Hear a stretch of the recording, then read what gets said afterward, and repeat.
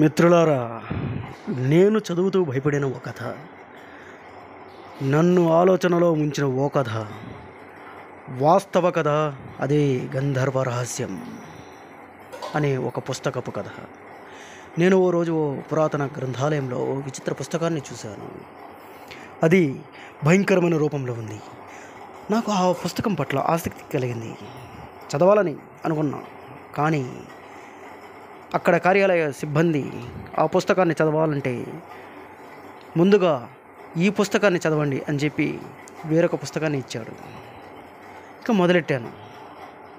అందులో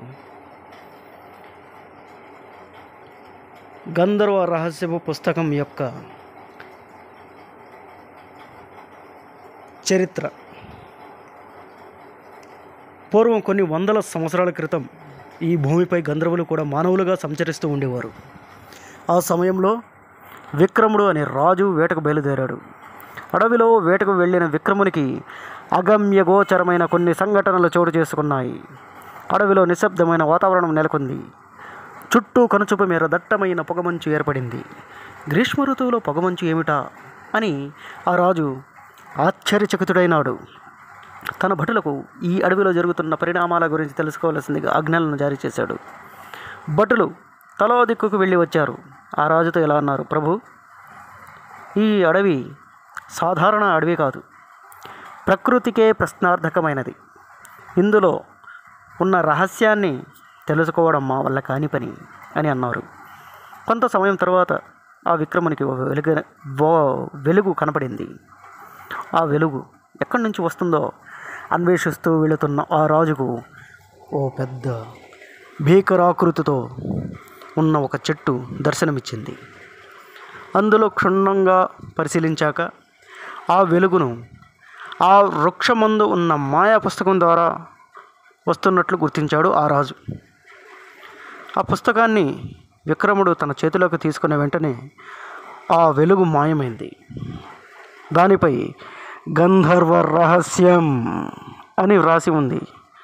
ఓ రాజా ఇక నేను మీ దాసుడను అని ఓ మాయాస్వరం వినిపించింది. ఆ పుస్తకంతో విక్రముడు తన రాజ్యానికి చేరుకున్నాడు. తన రాజ్యంలోని కవులకు పండితులకు ఆ పుస్తకాన్ని చూపాడు. అందరూ ఆ పుస్తకం గురించి ఏమీ చెప్పలేకపోయారు.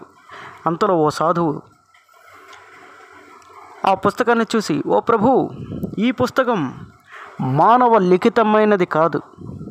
ఇందులోని ప్రతి అక్షరం చదివే వారికి భూత భవిష్యత్ వర్తమాన కాలాల గురించి తెలుపుతుంది.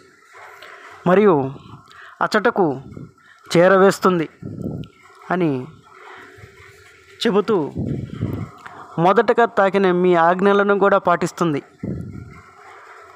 మరియు మీతో కూడా మాట్లాడుతుంది అని చెప్పి మాయమైనాడు.